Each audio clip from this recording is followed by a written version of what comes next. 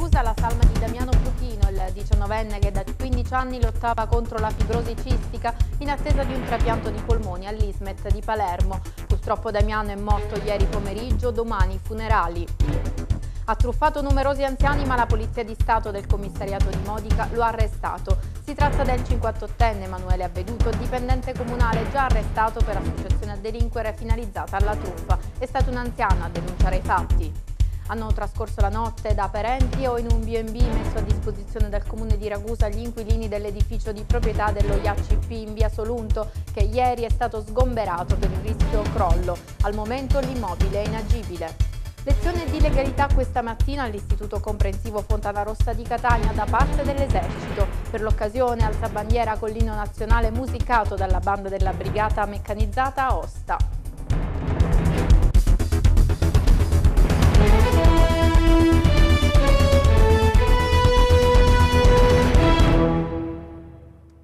Buon pomeriggio, ben trovati a una nuova edizione di MTG, lo avete sentito dai titoli, la città di Ragusa si stringe attorno alla famiglia di Damiano Pluchino, il diciannovenne che si trovava ricoverato all'Ismet di Palermo in attesa di un trapianto di polmoni che potesse salvargli la vita. Damiano si è spento ieri pomeriggio dopo 15 anni di lotta contro la fibrosi cistica, domani mattina i funerali in cattedrale alla quale parteciperà anche la sua classe, numerosi i messaggi di cordoglio anche da parte del sindaco di Ragusa.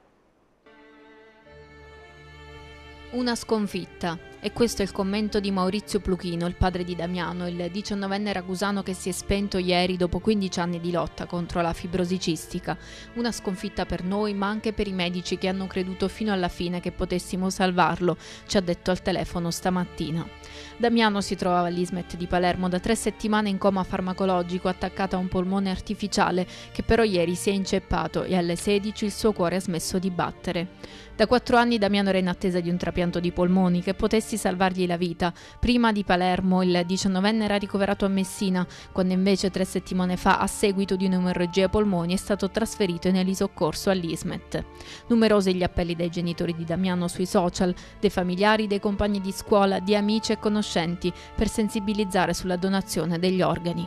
Anche la nostra redazione si era associata agli appelli, trasmettendo il messaggio di un amico di famiglia dopo il trasferimento a Palermo, restando in contatto con la sua famiglia in attesa di aggiornamenti. Ieri invece la triste notizia della sua scomparsa, numerosi i messaggi di cordoglio sui social da parte del primo cittadino Peppe Cassì, degli amici di Damiano, ma anche di chi, pur conoscendolo appena, aveva a cuore la sua causa perché non è facile accettare la morte, soprattutto quando porta via una giovane vita. Oggi la salma rientra a Ragusa e domani i funerali che saranno celebrati nella cattedrale di San Giovanni Battista alle 11.30. Un corteo partirà da Piazza Libertà alle 11. Alle celebrazioni prenderanno parte, secondo disposizione del dirigente scolastico, tutte le classi dell'Istituto Fabio Besta di Ragusa, insieme al personale e ai docenti, e saranno celebrati da Padre Ottone. Gli insegnanti rendono noto inoltre che è stata disposta una raccolta fondi destinata alla famiglia di Damiano per coprire le spese, Già questa mattina dalle 11 alle 11.30 si è svolto un momento di preghiera nel cortile antistante la palestra, nel corso del quale ci sono stati anche degli interventi dei compagni di classe di Damiano, che lascerà nei cuori di tutti un vuoto incolmabile e un ricordo indelebile.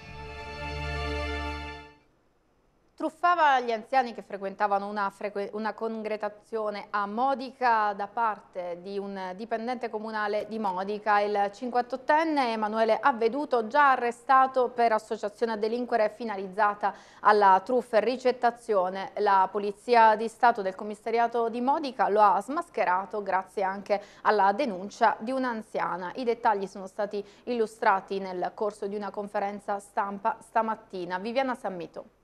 Fermo in attesa della busta contenente la pensione di anziani truffati, ma oltre alle vittime è arrivata la polizia di Modica lunedì nel primo pomeriggio in via Resistenza Partigiana a Modica, che lo ha arrestato in flagranza di reato per truffa. Emanuele Avveduto, 58 anni, dipendente comunale a Modica, già indagato nel 2011 per associazione a delinquere finalizzata alla truffa e alla ricettazione all'usura al falso, è accusato di aver truffato per tre anni diversi anziani modicani che fanno parte di una conga congregazione sottraendo loro tramite artifici e raggiri ingenti somme di denaro per un ammontare quantificato in circa 50.000 euro. Cinque le vittime, una coppia di anziani e tre donne, tutti sulla settantina che oltre a consegnare pensione e tredicesime sganciavano somme di denaro per il pagamento dei tributi che dall'indagato non venivano corrisposti agli enti competenti, tant'è che gli anziani ricevevano anche le cartelle esattoriali. Siamo in un contesto in cui soprattutto la coppia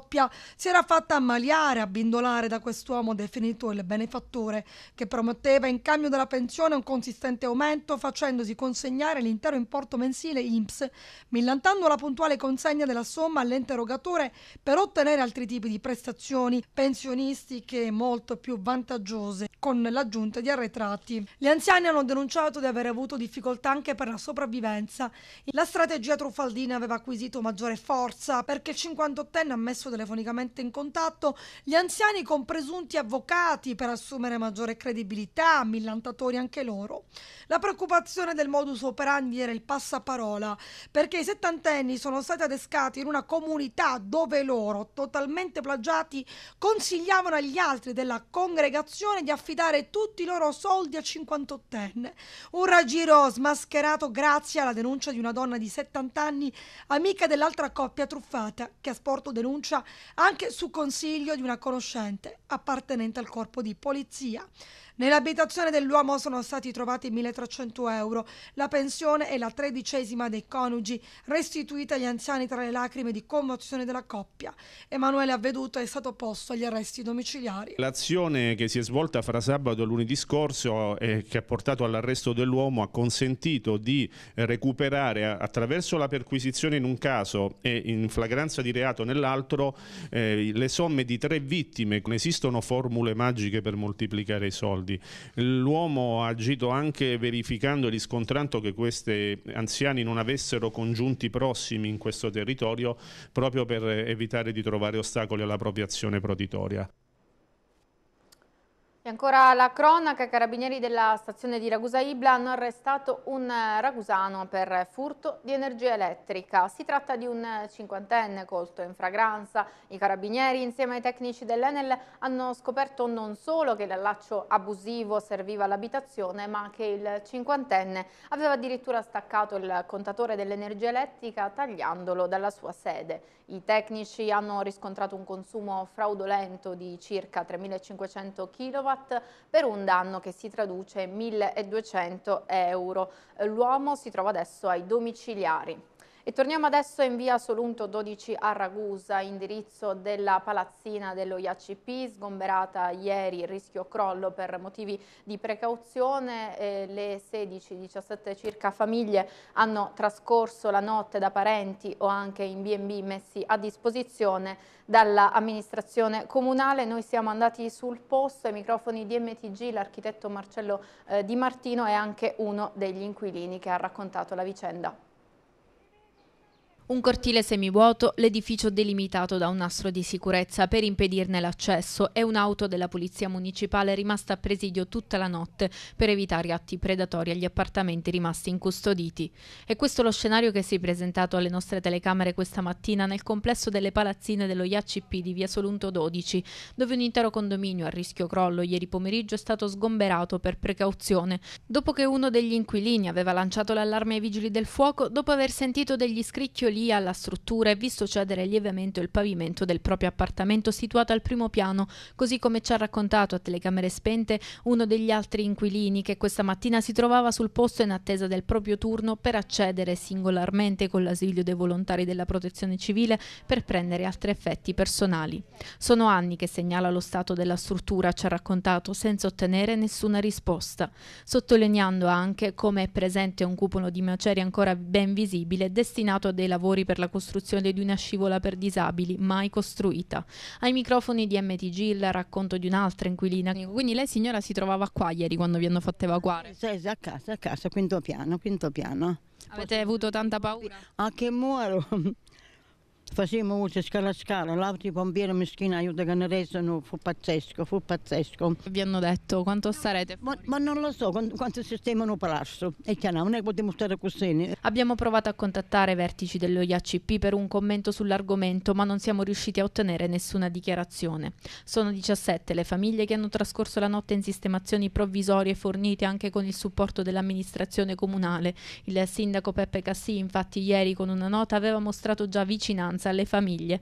Decine le persone che hanno dovuto abbandonare gli appartamenti a seguito dello sgombero è stato stabilito che la struttura resterà sotto osservazione. Adeguate verifiche strutturali stabiliranno eventuali interventi necessari di ripristino delle condizioni di stabilità, come ha spiegato l'architetto Marcello Di Martino. Ci sono dei tecnici incaricati sia dai, dai proprietari del, del, condominio che eh, stanno facendo tutte, tutte, le verifiche che occorrono. Eh, la prima cosa da fare è cercare la documentazione esistente sul, sull'edificio, dopodiché si procederà a effettuare in base alla documentazione trovata anche delle verifiche e poi ipotizzare anche il tipo di intervento. Naturalmente si farà tutto cercando di accelerare i tempi senza naturalmente compromettere mettere i tempi che ci vogliono per eh, le analisi e le, le verifiche del caso. E ci spostiamo adesso al Vittoria, il comune con le tariffe più alte dell'IMU e della Tasi, conseguenza di un disastro di gestione, di uno scempio corruttivo cui va posto rimedio. Parola dei commissari prefettizi che amministrano l'ente, che annunciano anche misure radicali. Questo e altri programmi illustrati nella conferenza stampa di questa mattina per noi Carmela Minardo. Un comune sull'orlo del dissesto non solo economico-finanziario ma civile e morale alla luce di un'illegalità diffusa dal mercato ortofrutticolo all'evasione tributaria al servizio idrico. Per i commissari prefettizi che amministrano il comune di Vittoria c'è stato uno scempio prodotto da un sistema corruttivo e ora bisogna correre ai ripari. Come? La ricetta è articolata.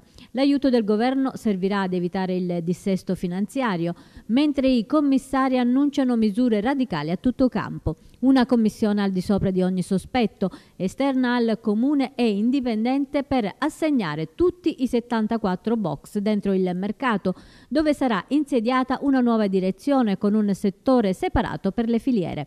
Un appalto ad un'agenzia esterna per la riscossione dei tributi ricorso ai privati anche per riscuotere il canone idrico e un appello ai commercianti. Il comune non ha soldi per far avvertire l'atmosfera del Natale, il prefetto dispensa e chiede il loro aiuto. E oggi in una conferenza con i giornalisti è stata anche annunciata la pubblicazione del nuovo regolamento del mercato ortofrutticolo sul sito dell'ente di Palazzo Iacono. Cambiano tante cose, soprattutto per quanto riguarda i controlli per l'accesso al mercato delle persone e, e delle merci che sono prodotti di grandissima qualità per garantire le persone per bene oneste, le imprese che rispettano le regole, perché di tutto questo non c'era traccia seria nel precedente regolamento e non c'era traccia neanche eh, pragmatica per quanto riguarda i controlli. Vista la precedente esperienza negativa, ben due commissioni non sono riuscite ad assegnare sei box per diversi anni i box, gli spazi eh, vanno messi tutti a concorso.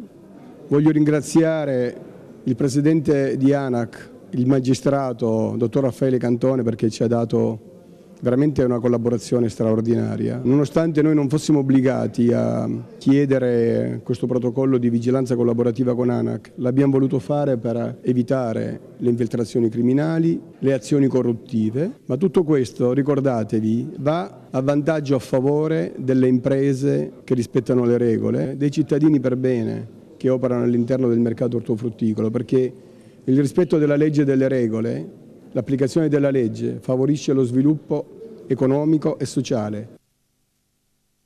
Il dissesto del Comune di Catania al centro di un tavolo di crisi che eh, si terrà in prefettura la prossima settimana, giovedì 13 dicembre, a volere l'incontro i sindacati che si attendono più eh, dialogo con l'amministrazione comunale. Sara Donzuso.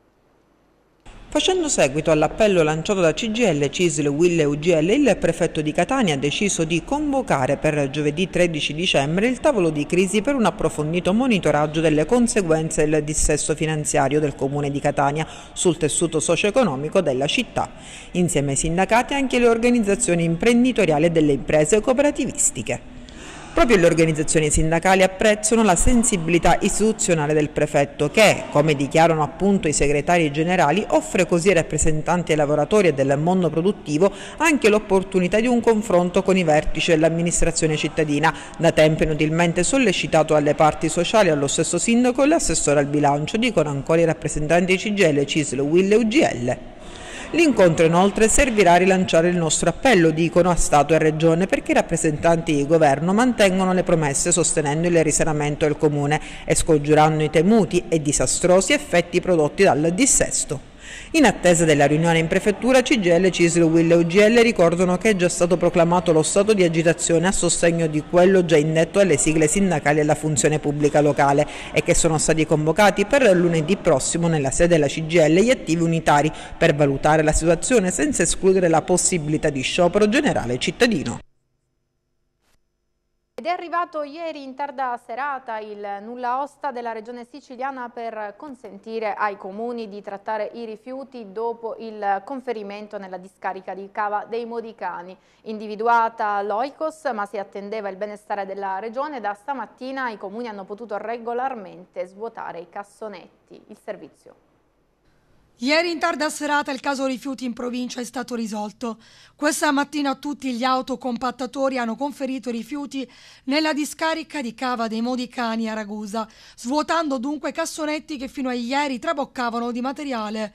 Il commissario straordinario della SRR Nicola Russo, il cui incarico è stato prorogato fino a marzo 2019, ha chiesto la disponibilità all'Oikos, la ditta che deve trattare e smaltire i rifiuti che arrivano in discarica. L'impresa ha dato l'ok, ma previa autorizzazione della regione siciliana, che ieri in tarda serata ha rilasciato il nulla osta. Ma perché le città ieri si sono trovate inondate di rifiuti? Torniamo al primo dicembre, quando il comune di Ragusa ha comunicato che, per ragioni burocratiche, la discarica di Cava dei Modicani è stata chiusa riferendo che la riapertura è prevista per martedì 4 dicembre. Ieri è stata riaperta, ma nell'ordinanza del commissario del libero consorzio comunale di Ragusa, Salvatore Piazza, è stata data l'autorizzazione a conferire rifiuti in discarica fino al 31 marzo, ma con un solo problema. Non era stata individuata la ditta che avrebbe dovuto trattare i rifiuti una volta conferiti in discarica. Per tale ragione gli autocompattatori in massa dei vari comuni che sono andati a cava dei Modicani sono stati bloccati e fatti entrare a rilento lasciando il resto dei rifiuti nei cassonetti. Stamattina il commissario straordinario Nicola Rosso ha inviato un'ordinanza ai 12 comuni Blei, fornendo le indicazioni su come garantire a tutti gli enti l'equa ripartizione per l'accettazione dei rifiuti nel TMB, nella discarica. Il commissario Russo, nella missiva di stamattina, ha anche tirato le orecchie a quei comuni che ancora non conferiscono l'organico nell'impianto di compostaggio a Ragusa e che quindi continuano a conferire a Gran Michele, dove già l'impianto è saturo e con un aggravio dei costi, invitandoli a segnalare le motivazioni dovute al mancato conferimento nel compostaggio di Ragusa. Gli unici comuni che smaltiscono l'organico sono 7 su 12: Ragusa, Scicli, Vittoria, Comiso, Monterosso Almo, Vittoria e Giaratana per una media giornaliera inferiore a 10 tonnellate, contro le oltre 50 tonnellate previste dall'autorizzazione all'esercizio dell'impianto.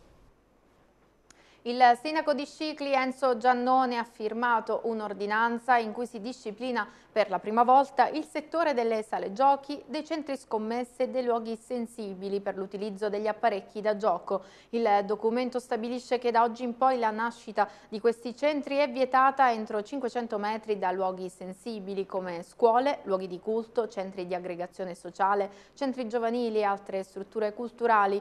Inoltre i centri scommesse già esistenti potranno essere aperti dalle 10 alle 13 e dalle 17 alle 22 tutti i giorni compresi i festivi. Invece bar, tabacchi e ricevitori e lotto potranno rendere fruibili gli apparecchi dalle 10 alle 13, dalle 15 alle 20, tutti i giorni, compresi i festivi.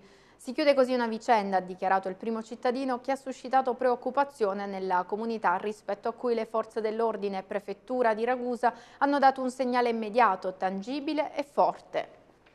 Ieri invece Santa Barbara, anche la Guardia Costiera della Capitaneria di Porto di Pozzallo ha celebrato la sua eh, patrona. Una messa è stata officiata nella chiesa madre della Madonna del Rosario a Pozzallo.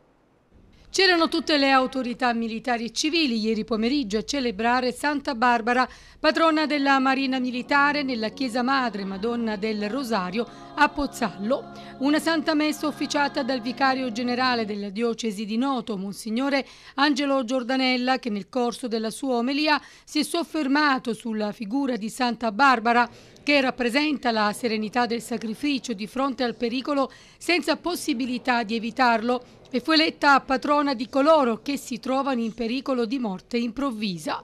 A seguito del breve pontificio di Pio XII, il 4 dicembre del 1951, Santa Barbara fu proclamata celeste patrona e ogni 4 dicembre gli uomini della Marina Militare e quanti operano per essa nel ritrovarsi con le comuni origini e valori festeggiano solennemente e degnamente la loro santa patrona. Ieri pomeriggio, come detto dunque, la Santa Messa alla presenza tra gli altri degli uomini della Capitaneria di Porto di Pozzallo, guidata dal comandante capitano di fregata Pierluigi Milella. Per noi è un evento molto importante perché è un'occasione per incontrarci, aggregarci e celebrare insomma, quella che per noi è una festa nazionale eh, molto particolarmente sentita. È un evento a noi particolarmente caro proprio perché in un'occasione delle celebrazioni di Santa Barbara tutto il personale si riunisce e si sviluppa quello spirito di costruttiva direi amicizia che penso che sia un elemento essenziale in un'organizzazione come la nostra. Tre anni fa Monsignor Corrado Lorefice veniva consacrato vescovo della diocesi di Palermo per l'imposizione delle mani del cardinale Paolo Romeo, che oggi sarà presente insieme ai vescovi con consacranti Monsignor Antonio Staglianò e Monsignor Paolo De Nicolò. Oggi pomeriggio alle 17, infatti, nella chiesa cattedrale di Palermo, la comunità diocesiana, insieme a Monsignor Lorefice, ringrazierà il Signore con una solenne celebrazione eucaristica. Il vicario generale, Monsignor Giuseppe Giuseppe Oliveri, il presbiterio e tutto il popolo di Dio della diocesi di Palermo si stringe intorno a eh, Monsignor Corrado Lorefice per esprimere i migliori auguri in occasione del terzo anniversario della sua ordinazione episcopale e dell'inizio del ministero pastorale in diocesi. Gli auguri a Monsignor Lorefice anche da parte del gruppo editoriale Video eh, Mediterraneo. Andiamo a Catania dove si è tenuta la quarta conferenza regionale sulla cooperazione internazionale di polizia. È stato il vice capo della polizia, il prefetto Nicolò Marcello D'Angelo, a presiedere questa mattina la quarta conferenza regionale sulla cooperazione internazionale di polizia. Lo scopo è stato quello di aggiornare e trasmettere agli operatori gli strumenti, le linee guida e le migliori pratiche della cooperazione internazionale proprio nel settore della polizia. In un territorio come quello siciliano che sviluppa in seno alla regione all'estero ramificazioni di organizzazioni criminali tristemente note, il network delle forze dell'ordine e la collaborazione operativa operativa tra strutture del Dipartimento e la pubblica sicurezza divengono dunque strumenti imprescindibili. Di fatto gli arresti e i latitanti effettuati in paesi esteri e le numerose operazioni transnazionali di polizia che hanno smantellato diverse articolazioni delle cosche siciliane hanno evidenziato l'affidabilità del sistema Italia. Si sono fatti grandi passi avanti ed è il futuro chiaramente della, della, lotta alla criminalità, poiché voi come ben sapete non esistono più frontiere per un criminale, ormai è tutto transnazionale, quindi il, in particolare noi, il Dipartimento della Pubblica Sicurezza, ha molto lavorato sotto questo aspetto. Catania è importante, eh, ha una storia, eh, si affaccia eh, in una, una, una, parte chiaramente di Mediterraneo importante quindi non poteva sicuramente mancare l'appuntamento. Noi siamo sempre attenti a segnali che ci possono inquietare in qualche modo ma io direi che i cittadini eh, italiani in generale sotto il profilo della sicurezza eh, contro mh, diciamo, infiltrazioni terroristiche possono stare tranquilli. Legalità nelle scuole è un progetto tra la Brigata Osta e l'Istituto Fontana Rossa. La scuola Fontana Rossa di Catania, ormai da tempo impegnata in progetti didattici volti a sensibilizzare i propri studenti sul senso civico e sul valore della patria come sistema paese, ha promosso oggi un incontro dibattito con i fanti della caserma Sommaruga, incentrato sui valori della pace, della legalità e della solidarietà. Il progetto curato dalla professoressa Giovanna Michele con gli interventi del maggiore dell'esercito Giuseppe Garagliano è stato rivolto agli studenti di scuola media della scuola primaria, partendo dalle esperienze di vita vissuta dai ragazzi con le testimonianze dei soldati, uomini e donne che si sono recati in giro per il mondo per portare pace, benessere e prosperità a popoli vittime di tristi eventi del recente passato. Cerchiamo di portare avanti un discorso eh, diciamo, proprio per implementare il concetto di, di legalità, eh, di conoscenza di tutte quelle che sono le uniformi quindi eh, i rappresentanti delle forze dell'ordine, eh, diciamo di tutti i militari sono in qualche modo passati dalla nostra scuola mai in maniera così imponente, quindi io sono molto, molto grata mh, per aver avuto questa possibilità. La legalità arriva nelle scuole, la si insegna ai giovani, che risposta avete dagli studenti? Il feedback è assolutamente positivo, hanno capito che nella vita il sacrificio, rimanere nel legale è sicuramente la scelta più importante perché come dicono loro, almeno mi hanno appena riferito, la libertà di uno finendo con l'inizio di quella di un'altra è anche sicuramente definita da quello che è il principio della legalità. Sinceramente i ragazzini di oggi sono molto svegli e c'è da imparare anche da loro. L'ex sindaco di Licodia Aubea con la passione per la scrittura, Nunzio Lirosi, oggi presenterà gli ultimi suoi libri a Vi racconto. Sara Donzuso vi aspetta alle 19.05 su Video Mediterraneo, canali 11 511 in diretta streaming sul nostro sito e in diretta sulla nostra pagina ufficiale Facebook. È tutto per questa edizione, grazie per averci seguito, buon pomeriggio.